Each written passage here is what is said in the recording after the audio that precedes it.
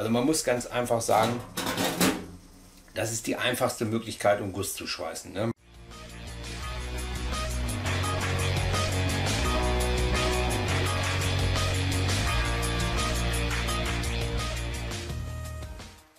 Heute wollen wir Guss schweißen, Grauguss, richtig, richtig widerlichen Grauguss. Ich habe hier zwei Bauteile einer Schwengelpumpe und die sind beide gebrochen. Die werden wir beide mit einer Nahtvorbereitung versehen und dann werden wir die wieder schweißen. Standardmäßig nimmt man dazu eine Elektrode, eine sogenannte Ni-Fe-Elektrode. Nickel-Ferium, 60% Nickel, 40% Ferium. Das Ganze ist schweineteuer wegen den teuren Legierungselementen. Ja, und da rede ich natürlich nicht vom Eisen, sondern vom Nickel. Und jetzt ist natürlich immer die Frage, kann man das nicht auch mit Wick und Mack schweißen? Wäre es gerade bei kleineren filigranen Bauteilen nicht viel schöner, wenn man das Ganze mit Wick schweißt? Wäre es bei anderen Bauteilen nicht viel einfacher, wenn ich hier einfach mit Mack schweiße? Ich habe irgendwo mit Elektrode nicht so die Erfahrung. Elektrode ist mir auch nicht ganz so und da gibt es die tausende von Begründungen. Und es gibt tatsächlich einen Mackdraht dafür, ja, oder beziehungsweise einen MIG-Draht, MIG-Mack-Draht. Kommen wir gleich nochmal zu, zu dem richtigen Schutzgas. Aber es gibt halt bisher immer nur 15 Kilo Rollen. Jetzt gibt es das Ganze auch in einer 1 Kilo Rolle, ein Nife-Draht, ja, 0,8 mm, 1 Kilo, kostet ungefähr 60 Euro, ja, ist halt Nickel, ist relativ teuer, aber im Gegenzug die 15 Kilo Rollen, die kosten ab so 12, 1300 Euro aufwärts und da ist das sicherlich schon eine erschwingliche Sache. Werden wir ausprobieren, werden wir gucken, was für Ergebnisse wir damit erzielen. Welches Schutzgas nehmen wir, wie ist die Vorbereitung, machen wir alles.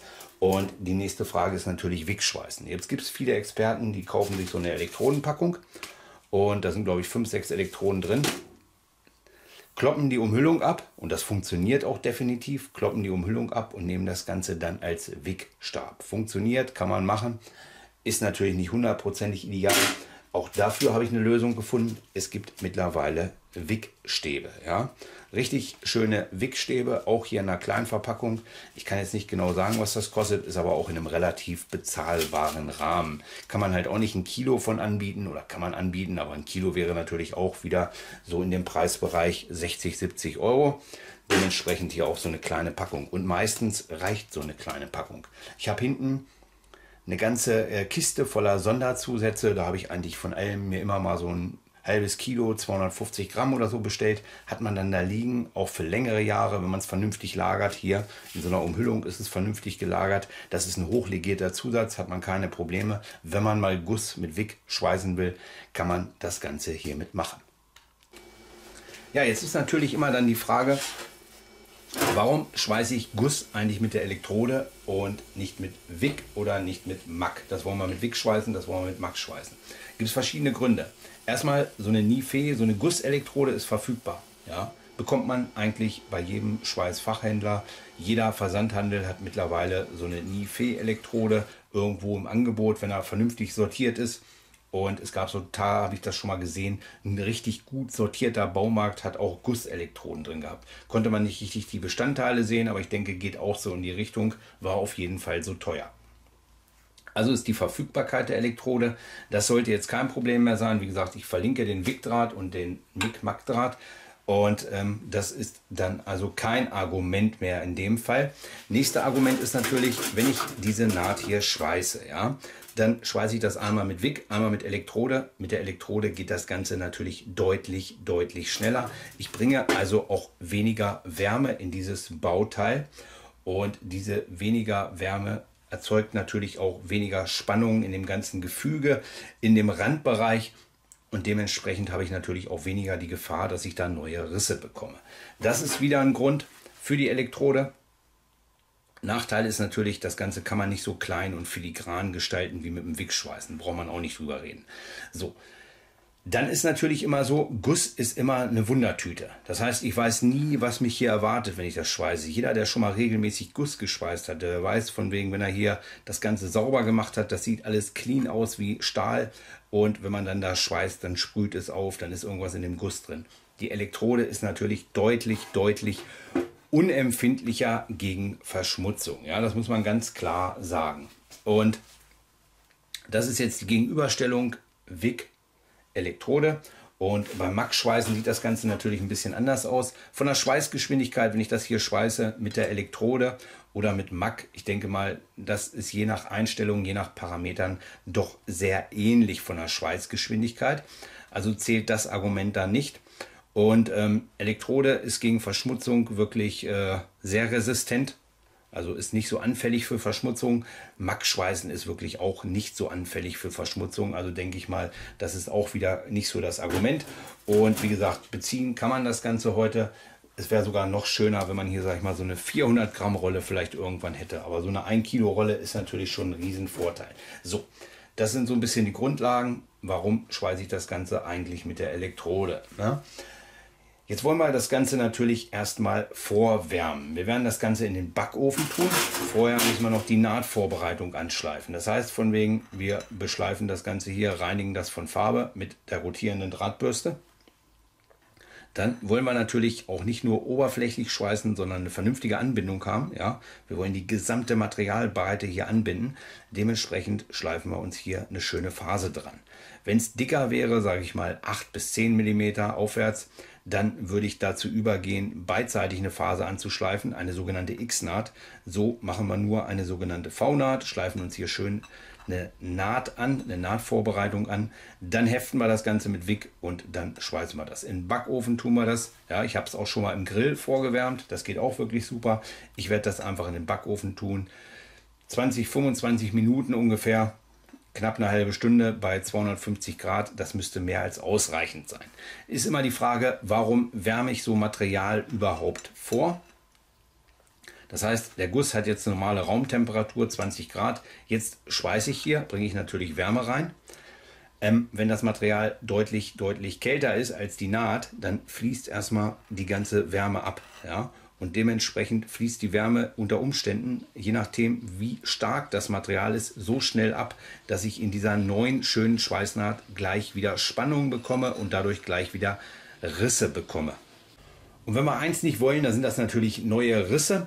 Und darum, wenn das Ganze fertig geschweißt ist, ja, dann geht es auch in den Backofen wieder zurück. Den Backofen machen wir einfach auf eine untere Temperatur. Es geht einfach darum, dass das Ganze nicht so schnell abkühlt. Ja? Dass wieder diese Wärme ganz langsam aus diesem Bauteil rausfließt. Man kann das Ganze auch einfach in Isolierwolle packen. Ich habe es, wie gesagt, auch mal auf den Grill getan, den Grill schön angehabt, habe den Grill dann angelassen und habe den langsam ausgehen lassen. Dann sinkt die Temperatur ja auch innerhalb von ein, zwei Stunden, sage ich mal. Dann kühlt das wirklich auch schön langsam ab. Viele nehmen auch einfach diese Schweißermatten, packen das da richtig schön ein.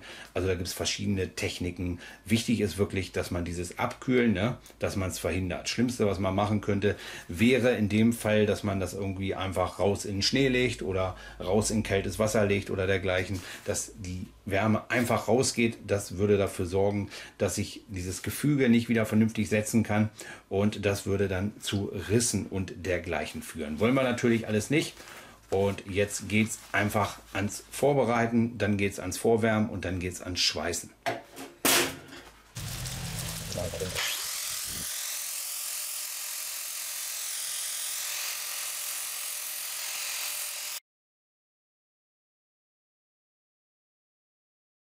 Ja, und während das Ganze schön vorwärmt, können wir uns natürlich die Frage aller Fragen stellen, wie stelle ich mein Schweißgerät ein? Das sollte beim Wichsschweißen völlig unproblematisch sein. Ich werde hier mit dem 2 mm Draht mit 80 bis 90 Ampere starten und muss mich dann mal so ein bisschen orientieren. Das ist für mich auch eine neue Schweißaufgabe. Und ich habe hier keine Gaslinse, sondern ein Gassieb, eine 8er Düse. Ich verwende auch wirklich nur 8 Liter Argon 4.6. Und beim Schweißen ist es wichtig, wirklich nicht zu steil den Brenner zu halten. Lieber so ein bisschen auf 45 Grad Schräge, wenn man so schweißt, ja, dann strömt das Schutzgas nicht so so intensiv auf die Naht. Man hat trotzdem eine gute Gasabdeckung. Das ist mir dabei immer wichtig. Viele Leute haben Probleme, gerade in dem Bereich mit Poren. Die schweißen dann meistens auch in dem Bereich so. Bei Edelstahl, Chrom-Nickel-Stahl ist das kein Problem.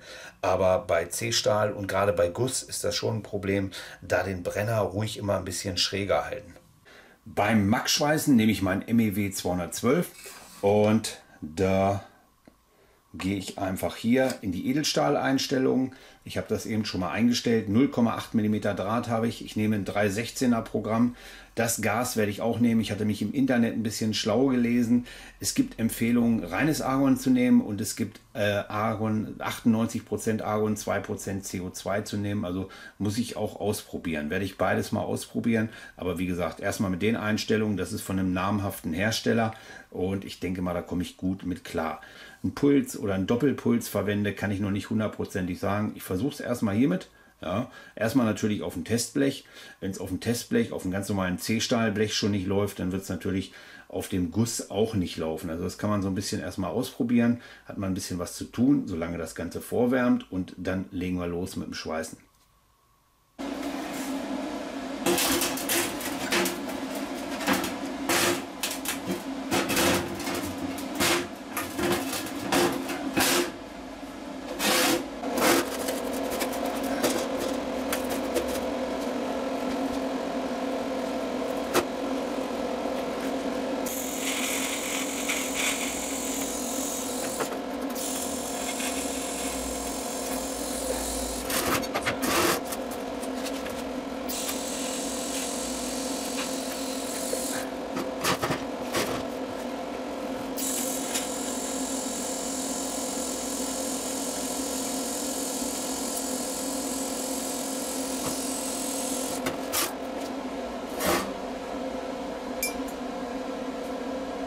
So.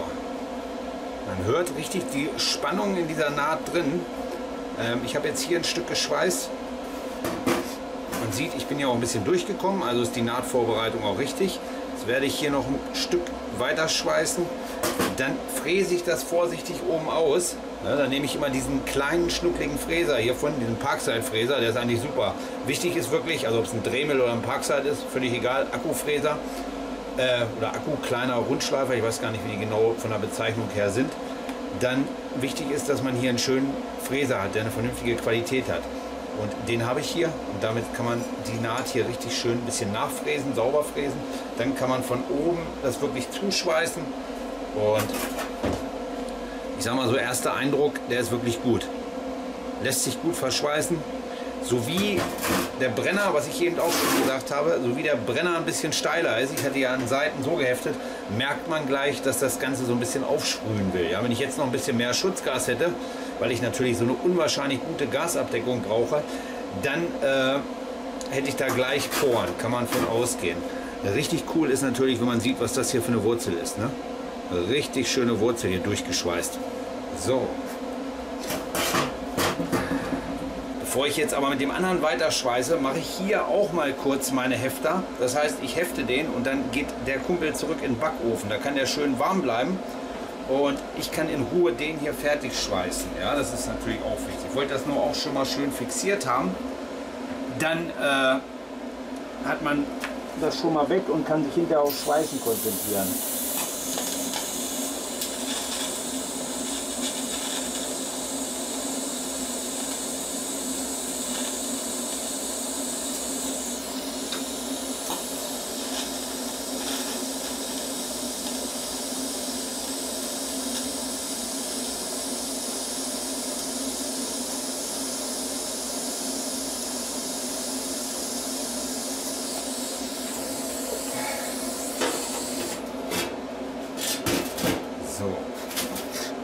Hier habe ich jetzt von unten die Phase. Das Ganze schön aufgelegt, damit es wirklich auch schön plan ist. Kontur passt auch.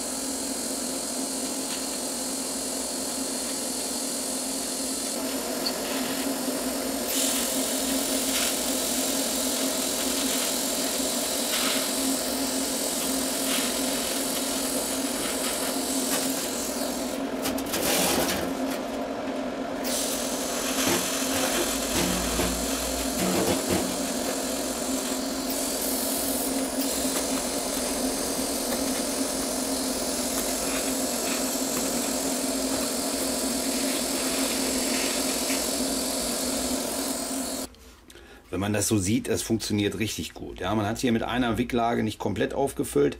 Ähm, ich werde noch mal eine dünne Lage da gleich rüberlegen, aber an sich von wegen lässt sich das wirklich sehr, sehr gut schweißen mit Wick. Wichtig, wie gesagt, die Brennerhaltung, wichtig, dass der Zusatz möglichst immer gleich im Schmelzbad ist, weil der Zusatz hat eine sehr, sehr beruhigende Wirkung auf das Schmelzbad, ja, und dementsprechend sollte man da immer möglichst schnell Zusatz hinzugeben. Dann kann man das wirklich sehr gut schweißen. Ich habe hier ganz minimal dass ich es nicht geschafft habe, in einer Lage das Ganze aufzufüllen. Man hätte ein bisschen mehr pendeln können, ein bisschen langsamer schweißen, aber ich hatte dann, wie gesagt, auch Angst, dass ich Poren kriege.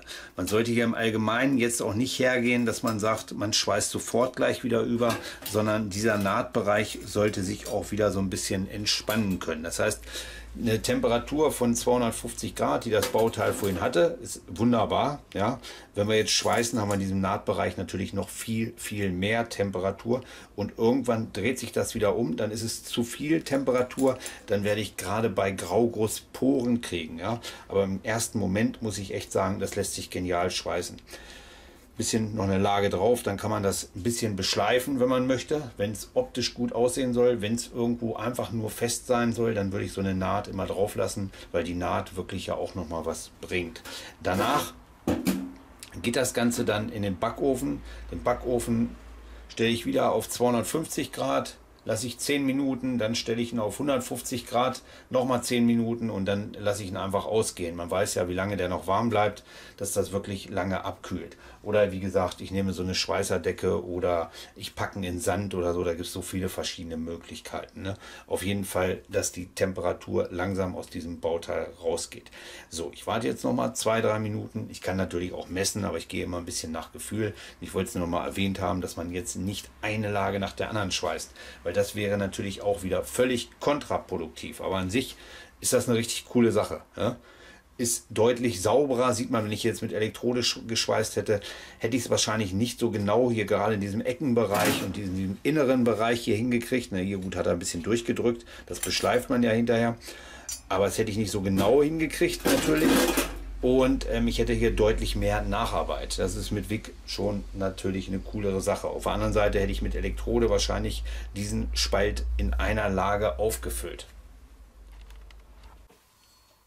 Ich bin jetzt einfach so vorgegangen, ich habe mir ein Testblech genommen, so wie ich es immer mache, weil ich habe ja kein Gussteil, wo ich es ausprobieren kann.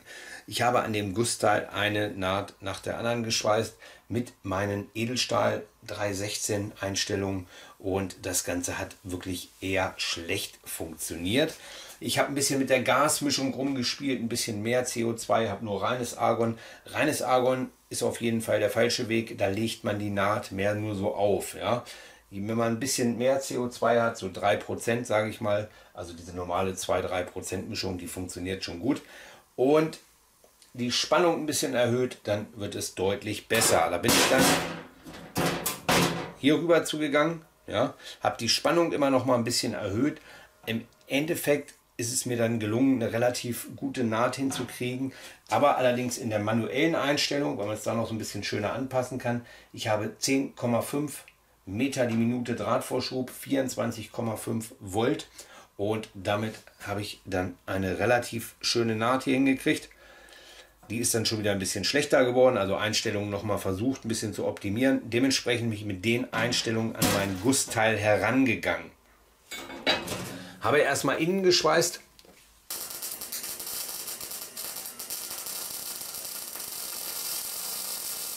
Musste dann aber gleich feststellen, dass die Einstellungen auf dem Stahlblech mit den Einstellungen bei dem Gussteil nicht ganz so viel zu tun haben, beziehungsweise dass der Prozess viel, viel unruhiger läuft und dass das Ganze viel mehr spritzt. Ich habe dann die Einstellung nochmal versucht so ein bisschen anzupassen, bin in den Puls gegangen, weil ich dachte, vielleicht bringt es Pulsen, aber Pulsen bringt es in dem Fall leider auch nicht.